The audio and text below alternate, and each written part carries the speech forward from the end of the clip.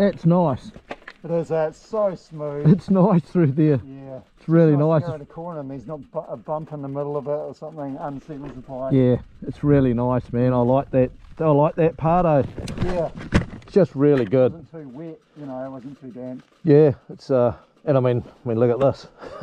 it's not bad, man. This is probably my one of my favourite spots. Yeah. You know, because it's just such a good spot. So, um, but yeah, I just think go down again, Yeah. and then uh, don't know where you want to come. uh, and turn right at the Yeah, well, um, where you go up over the hill. yeah, go down, um, and then go, yeah, and then go left, and then turn right. Go back through Lyttelton, and we go up over the hills. Yeah. Yeah, through the bays, Yeah. and go that way. So Yeah. um, that might be the way to go.